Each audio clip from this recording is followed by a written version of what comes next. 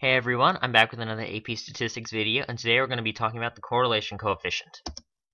Alright, so the definition of a correlation coefficient, for those of you who like definitions, is a numerical value describing the strength and direction of a linear relationship for bivariate quantitative data. Now, bivariate quantitative data, if, if that confuses you, the word bivariate means two variables, and quantitative just means numbers, right? So two variable numerical data set. So down here, right, height and weight.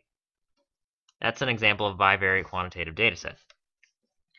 Now, what the correlation coefficient tells us is essentially how well related or how poorly related two variables are. For example, I want to talk about height and weight for a second, right? The taller, generally speaking, the taller someone is, the more they weigh, right? Because taller people generally have more mass on them. They have bigger bones, so they're going to weigh more, right? So generally speaking, we can say we we can pretty much generally say the taller someone is, the more they're going to weigh. We would say that height and weight are definitely related, right? Because we know if the taller someone is, if someone someone who is 64 inches or 64 inches tall is going to weigh less than someone who is 74 inches tall. Likewise, someone who is 77 inches tall, if you didn't know where I'm pointing down here, is someone is 77 inches tall they're going to weigh more than 74 someone who's 74 inches tall because generally speaking some the taller someone is the more they weigh. The correlation coefficient comes into all this be, it because it's simply a numerical value to quantify the degree of relatedness. How strong is the relationship between two numerical variables? How well for example does height predict someone's weight? That is what the correlation coefficient is all about, showing us how well related two variables are. Now this complicated thing here is the formula to calculate it. I'm just going to tell you straightforward that, straight up, sorry, that you do not need to know this formula to calculate it. But for those of you who want to know, what you're essentially doing here is for the, whatever your x variable is, let's say it's height in this case, is that you're taking z-scores. Because remember, the formula for z-score is the the data point minus the mean divided by the standard deviation. And you're multiplying, you're finding the z-score for each x value, your x's obviously, and you're finding the z-score for each y value, your y's, and you're multiplying them together and taking the sum of all of those products. So I'd find the z-score for this x, uh, this x and this y, and multiply them together, take the, and then do that for each individual pair of height and weight, and then I would take the sum of that and divide or divide it by n minus 1 how data points, right? That is how it is calculated. However, you don't need to know that for AP statistics, so don't waste your time memorizing it. If you want to know more about it, shoot me a line in the comments. I'll happily explain. Alright, what is important is that you need to know how to interpret the correlation coefficient. That is what AP Statistics cares about. Alright? And so, the important thing to remember is that the correlation coefficient will always be between negative 1 and 1. And in it will always be between negative 1 and 1, right? But in that range, there are certain divisions that show us how strong the relationship between two variables is, how well they correlate. So if r is, is greater than 0 or less than 0.5, we're going to call it, it's going to be weak. Though that means the relationship between the two variables is weak. We can't just follow we can't go we can't for example but if we if I was to say the relationship between height and weight height and weight was weak that would mean that you know there isn't such a strong relationship between height and weight. I couldn't necessarily predict someone's weight based on their height. It's the relationship would be very weak. If the value of r is between 0.5 and 0.8 we would call the relationship moderate which means you know there's a pretty good relationship between height and weight. You know I I would be okay saying if I knew someone's height, I could guess their weight. And then if the value of r is between 0.8 and 1, we would say there's a strong strong relationship. That means, hey, if I know someone's height, I can pretty certain pretty well certain guarantee tell you what their weight is. So those are your three and remember these values can also be negative, and we'll talk what the negative means. With the same values apply, right? Between 0 and negative 0.5, we have it's going to be weak. Between negative 0.5 and negative 0.8, it's going to be a moderate relationship. And between negative 0.8 and negative 1, it's going to be a strong relationship. So remember those divisions, right? And of course, important thing to note, if the value of r is 0, there is no linear relationship. Okay? So moving on. I'm just, this is just a picture to show you what these values mean. Again, strong relationship, right?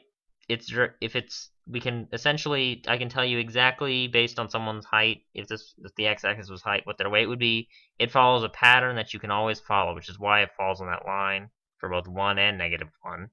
But you know, the when you get between the values of zero and one or negative one and zero, that pattern doesn't necessarily fall directly on the line. It's not a straight pattern. There's some variability here that kind of weakens the relationship between the two variables, making harder making it harder to guess someone's weight based on their height. And then when p is just straight up zero, there's no relationship. There's no way you could tell someone's weight based on their height. And of course, this picture comes from Wikipedia, so thanks Wikipedia. Alright, now if r is greater than 0, then the relationship is positive. If r is less than 0, then the relationship is negative. Let me show you, going back to the graph here. Look at negative 1, right? Notice how when we increase, if this was height, right? I'm just drawing h here. And this is weight, if we increase the height going to the right, well then weight is decreasing. That would be a negative relationship. But if we but look at down here for positive one, right? Oh, when we increase the height, the weight is also increasing. That is what those positive, positive and negative signs mean. The negative implies that when you increase the x variable, the y variable is decreasing. And what one is positive is when you increase the x variable, the y variable is increasing. Alright, and of course again, if the value of r is 0, then there's no linear relationship. So moving on. Alright. So here's an example. After This is a classic AP Statistics style free response question. After analyzing age and income data, the Bureau of Labor Statistics determined that there is a correlation coefficient between two variables of 0.56. Interpret the statistic. So basically they're asking you to describe what kind of relationship exists between these two variables. So we need to say the strength, the direction, and the whether of course the fact that it's linear. So let's do that. The strength, right? Well, 0.56. We know that between 0.5 and 0.8 there's a moderate relationship. So we're going to say the strength is moderate. The direction is positive because it is obviously positive. 0.56 is greater than 0. And so our answer, and this is exactly how AP Statistics wants you to word it so you get credit on the free response, is that there is a moderate, positive, linear relationship between age and income. So let's try another example. Sheldon and Leonard looked at a bivariate dataset.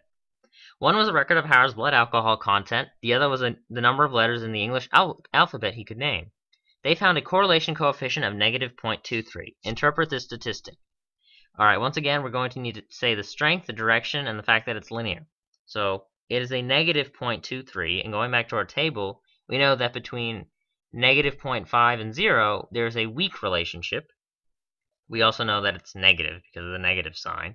And that you have to state the relationship is linear. I cannot stress this enough. If you don't say this part, linear relationship in your answer, you won't get credit. Period, right? So going back to the second question, the answer is there's a weak negative linear relationship between blood alcohol content and alphabet competency. Interesting, right? I didn't think so, but whatever. Moving on more important stuff. These are just, just tri stupid trivia you need to know about the correlation coefficient for your class and probably AP Statistics exam. The value of R is not affected by any transformation applied to every data point. For example, if I increase the expenditure level to the right by, or if I shift every point to the right by 6, that will not change the correlation coefficient. If I move each point up by 9, it will not change the correlation coefficient. So long as the same transformation, whether it's addition, subtraction, multiplication, or division, is applied to every single data point, there is no change in the correlation coefficient. More also, the correlation coefficient will be the same no matter how the two variables are graphed. So switching what variables on the x and y axes will not change the correlation coefficient. Simply put, if I, if for example, look at this graph right here. Graduation rates on the y-axis, expenditures on the x-axis. It would have, this graph would have some positive correlation coefficient, right? But if I were to flip this, and I were for graduation rates on the x and expenditures on the y, that would not change the correlation coefficient. If you have two variables, no matter how you graph them, you're going to get the same correlation coefficient. So for AP statistics, they would probably do something like, all right, so Susie decided to switch which variables were on the x and y axis. How will this change the correlation coefficient? It won't. For two variables, it doesn't matter which one goes on the x and which one goes on the y. However you do it, you're always going to get the same correlation coefficient. Last but not least, correlation coefficients are influenced by extremely large or extremely small values, right? Remember, the point of a correlation coefficient is to show how strong the relationship is between two variables. If you have a value that is extremely large or extremely small, or I should say, you know what, ignore the extreme, the large or small part.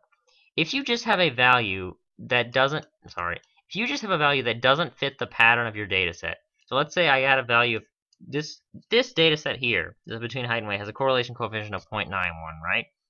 But let's say I were to add the data point, which has someone of a height of 10, it's a horrible 10, and a weight of 9,000, right?